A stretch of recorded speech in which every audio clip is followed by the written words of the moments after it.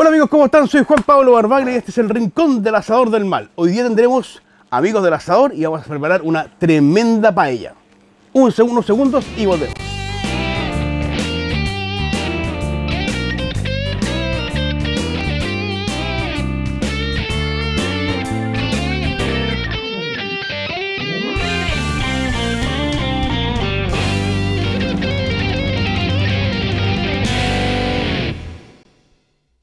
Y amigos, en la meseta nuevamente, un capítulo más en el rincón del asador de mar. Hoy día les contaba que vamos a hacer una paella, pero me decían, oye, para asador, tú ya hiciste paella, sí, sí, hicimos paella, hicimos una paella en el disco, todo súper bien, pero eh, no quedó muy bien el audio. Y ahora que estamos con audio, a un tremendo amigo mío y que es referente de paellas en Chile, el señor Fernando Ríos en la paella de Feña. Feña, compadrito, ¿cómo estás? Hola, ¿cómo estás? Puta, eh, discúlpeme, el rincón es mío. Sí, no es problema. El invitado es muy, es muy grande para, para, para el no. rincón. Pero bueno, aquí vamos a hacer lo que se pueda. Muchas gracias por la invitación, Juan Pablo. Un agrado estar contigo. Bueno, esto lo teníamos hace dos años y hace por, por una cosa y otra, después vino la pandemia, se ha alargado un poco la cosa. Pero ya estás acá en el rincón y vamos a hacer una tremenda paella. Pero antes no teníamos nada. Nada. Así que te invito a Sabores de Tierra y Mar a ver qué podemos encontrar para hacer una paella. perfecto, vamos. Hay que explicar que Fernando es un gran exponente de la paella nacional y es un, un acérrimo defensor de la paella valenciana. Pero como ustedes saben, acá tratamos de que podamos hacer una paella eh, con los ingredientes que tengamos en la casa o con los que tengamos en el mercado. Por eso vamos a ir a Sabores de Tierra y Mar para ver qué es lo que encontramos y ver qué podemos hacer. Y ahí tú nos explicas un poco de tu paella, que es la valenciana, que era la- es, tu, es tu caballito de batalla, y en qué nos debíamos de fijar para que nos quedara una buena paella. Pero primero, vamos a Tierra y Mar. Vamos a Tierra y Mar. Vamos, padre.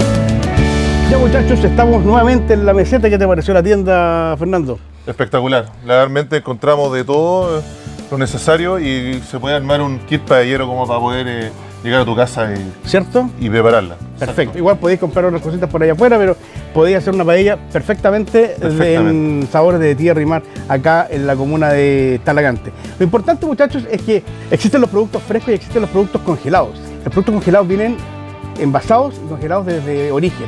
El producto fresco a veces de repente podemos tener una mala experiencia. No estoy satanizando a ninguno de los otros. El, producto fresco obviamente que es espectacular. Sí, no hay problema. Además que estamos en una época en, la cual nos hemos tenido que adaptar un poco a lo que tengamos en el hogar, en la casa. Y obviamente, como tú bien dices, hay productos que son congelados, que, pero están frescos y congelados, digamos. Entonces se pueden congelar de una manera na- natural. Y obviamente siempre viene bien poner algo de, la parte de las verduras o legumbres que estén recién cosechadas y aprovecharlo en la, te- temporada, la tecnología. Claro. Muchachos, eh, nos vamos con la, con la paella y esta es una obra de arte de El Señor de los Discos que vamos a curar. Es un tema recurrente. Ustedes tienen en el canal eh, la posibilidad de ver cómo curé yo un disco de acero, pero esta es una paella que cuando ustedes la compran en El Señor de los Discos, en Maritierra o en la bodega o en el rincón, van a tener que hacerle un proceso antes de usarla. Y eso es lo que vamos a hacer ahora. Esta está cruda, está limpia, la vamos a tirar a fuego. Ya, ahí la dejamos entonces, Fernando. La vamos a dejar ahí que se caliente y vaya cambiando el color. Y mientras nosotros preparamos la mise en place, esta se va a ir curando. Ya, ahí entonces, ya, aquí entonces ponemos la paella para que se caliente bien y todo tono azul, así como lo que se está viendo. Por la magia de la televisión tenemos la paella ya calientada, digamos, en la ya curada y ahora está lista para trabajar con ella. Bueno, Feña, aquí ya estamos ya con una tremenda mise en place que nos mandó los amigos de Sabor y Tierra Mar Cantalagante y cuéntanos un poquito, así brevemente, la historia de la paella y qué es lo que vamos a hacer hoy día. Bueno, la historia de la paella obviamente nace en Valencia, ¿cierto? Que a pesar de que es una ciudad en España que está en la costa, la auténtica paella tradicional eh, nace más que nada de, la tierra, digamos.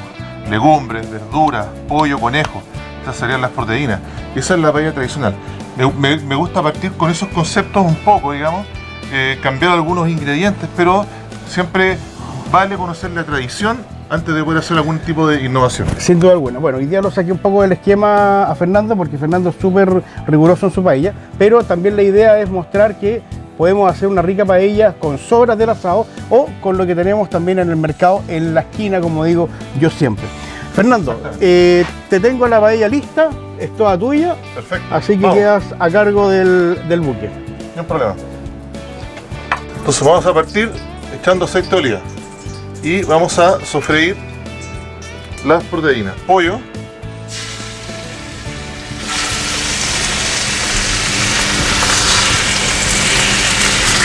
Costillita de cerdo. Que viene muy bien también. En esta primera etapa necesitamos el fuego fuerte como lo tenemos acá, a la leña, también siguiendo las tradiciones de cómo se hace una paella. Y necesitamos fuego fuerte, necesitamos dorar muy bien las carnes porque aquí se concentra el sabor, el verdadero sabor de, la paella. Porque después más adelante vamos a levantar estos sabores con el agua. Si se dan cuenta, toda esta grasita que va quedando pegada, después se va a levantar cuando se produzca el, el y eso se va aportar todo el sabor de la paella.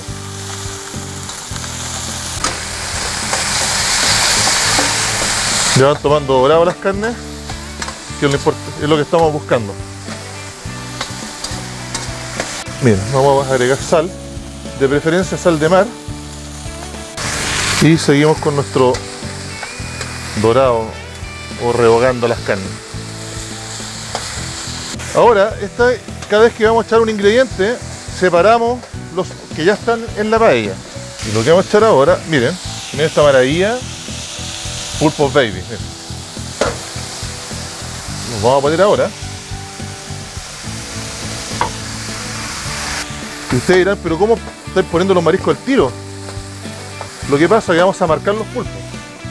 Entonces para ello, y los vamos a sacar, para darle más sabor en el fondo de la paella. Tiramos ace- aceite oliva y un poco de sal. Y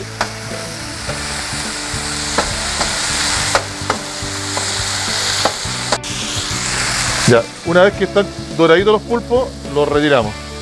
O sea, lo, lo reservamos ahora. ¿eh? Para... Los reservamos para después, justamente. Eso ya lo recordemos que los amigos que estaban ya cocidos eh, y los marcamos ahora para que se doraran el- con el sabor de, la- de las carnes y ahora los reservamos. Aprovechamos las carnes nuevamente aquí un poco para que se, doren, se sigan dorando y tomando el sabor. Volvemos a separar y hacemos lo mismo con los otros mariscos que tenemos para marcar. Y ahora seguimos marcando los mariscos, vamos con los calamares y con los camarones. Tiramos un poco de sal y aceite de oliva.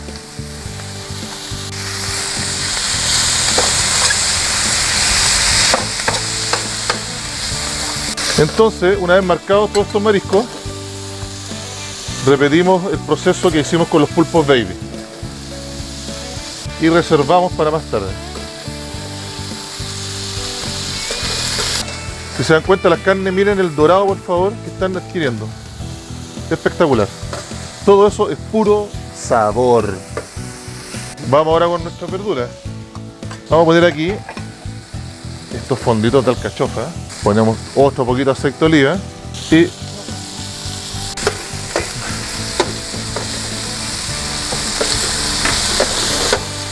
ya salteamos un rato y dejamos ahí que se junten los sabores. Una vez dorada la alcachofa, ahora las vamos a dejar ya en nuestra paella. Vamos a juntar con el resto de los ingredientes. Y ahora vamos a separar para empezar a echar el resto de la verdura. Vamos entonces con nuestro tomate triturado, rallado como ustedes quieran, ajo fresco, otra vez un poco más de aceite de oliva. No se nos olvide siempre una pizca de sal cada vez que un ingrediente. Recordarle a los amigos que ese tomate de la violeta que lo mixeamos antes, ¿ah? no es que este producto no estaba de la violeta, el mismo tomate natural que lo mixeamos para eh, especialmente para la paella. Y ustedes Exactamente. lo pueden hacer para una salsa, para una que es espectacular. Y ahora vamos a mezclar. Mira la aroma que sale, hijo.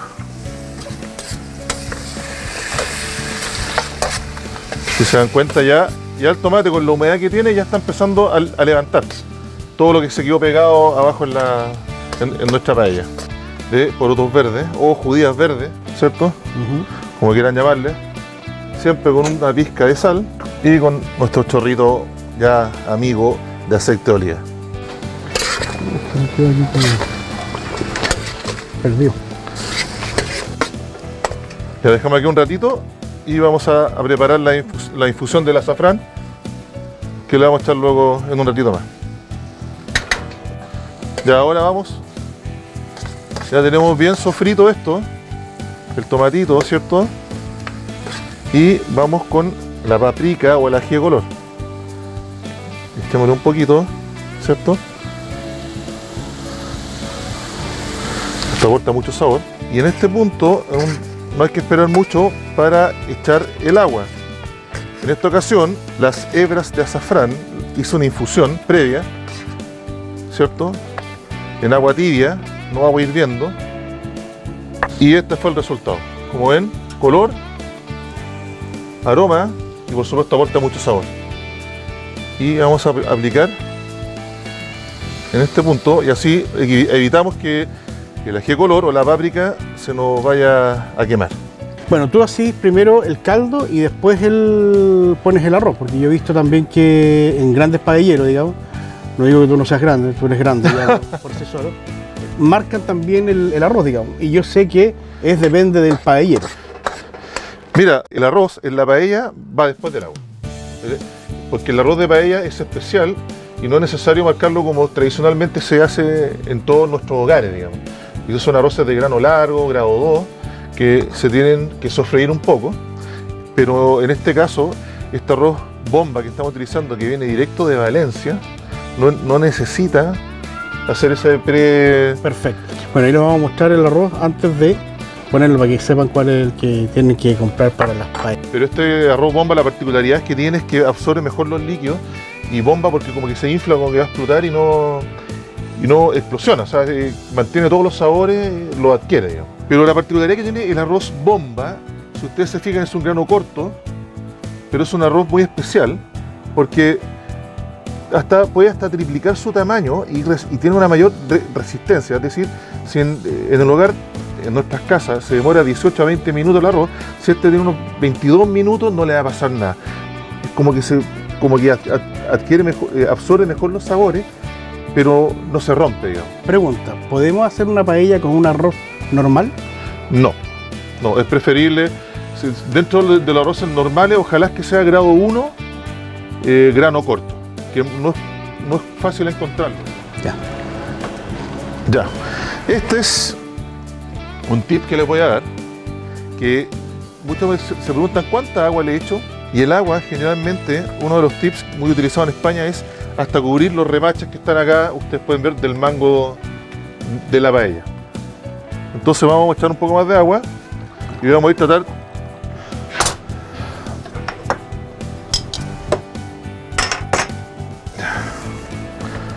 Ahora citamos el fuego. necesitamos fuego en esta tapa. Y ahora en este punto que tenemos el agua puesta con el- nuestro safrán, vamos a esperar que esto hierva. Y una vez que hierva, que, se, que esté como unos 8 o 10 minutos hirviendo y ahí estamos formando el caldo de la paella. Y ahora viene el momento culmine que todos estábamos esperando, el bendito arroz. Exacto, Juan Pablo. Este es la vedette de esta preparación. El arroz. Vamos aquí. Y lo vamos polvoreando sobre el líquido. Exactamente. Hay varias maneras de poner el arroz en una paella. En forma de cruz. Pero yo prefiero hacer esta que es de manera equitativa. Con amor, con tranquilidad. Partes con un anillo y después terminas en el centro. Claro. Perfecto. O como tú quieras. La idea es que tú... ¿Cuánta, ¿Cuánto arroz ocupamos? Esta, recordemos que esta es una bahía del Señor de los Discos y esta es la medida de 40 centímetros. Sí, esta es una, eh, de, de las medidas típicas de las paellas. Esta, esta paella alcanza para unas 10 personas más o menos. Ocho personas eh, promedio, más o pa- menos. un- Para, digamos, para... para una porción de restaurante, digamos. Una buena Para una porción Pero normal, digamos. Yo las que he hecho también comen 15. Así. Sí, también. ¿Cuántas, eh, digamos a la gente, cuántas tazas de arroz ocupaste? Eh, Teníamos un kilo, ocupaste dos. dos y medio. exacto. Dos y medio, ya, perfecto. Para esta paella de 40 centímetros, anda ya. O sea, perdón, medio kilo de arroz ocupaste. O dos tazas. Ahora que está hirviendo y tiramos el arroz, es el momento de rectificar la sal. ¿Cómo lo hacemos? Con una cucharita limpia, probamos.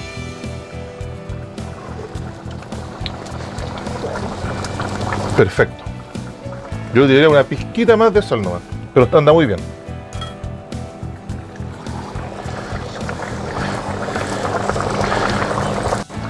Y ahora, si ustedes se dan cuenta, tenemos el caldo hirviendo, es decir, la leña está a full y en este momento que ya pusimos el arroz, tenemos 18 a 20 minutos para decorar nuestra paella primero con los mariscos que marcamos al principio, ¿se acuerdan? Miren.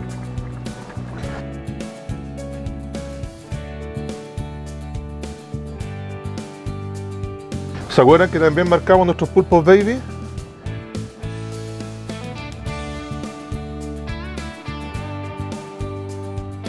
Aquí ahora acomodemos un poco. Es importante que se dieron cuenta que cuando colocamos el arroz, eh, el arroz quedó ahí, no se toca, el arroz no se mueve, no se toca, no se agita, nada. ¿Por qué? Porque tú le puedes soltar el almidón y puede transformarse en una En suerte un- de, de risotto. Pero no queremos hacer risotto. ¿Se entiende? La idea Así es que, que- tenga el- la, la- la textura de la paella es una paella graneada pero húmeda. Exacto. No es como el arroz graneado. Claro. Ahora. Ahora con nuestras almejas y nuestros choritos.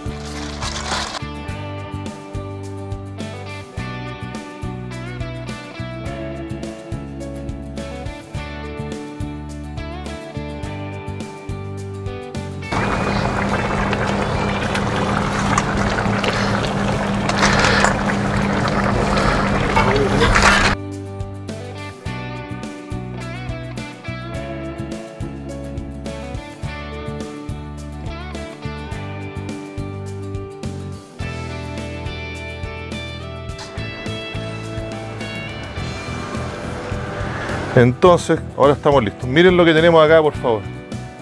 Oh. ¿Qué tal? Miren. Vamos a comer. ¿no? Llegamos al final, final, final de este tremendo capítulo que reeditamos, pero con un tremendo amigo, aquí con los amigos del asador en el rincón.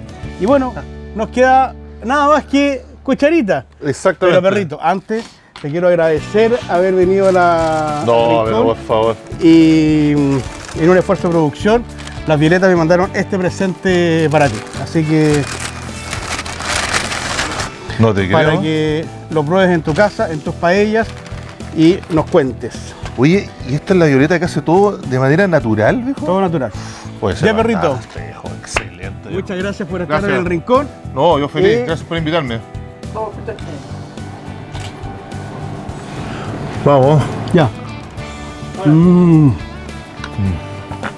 Ya muchachos, vengan con cucharita. Salud compadrito. Muchas gracias. Salud.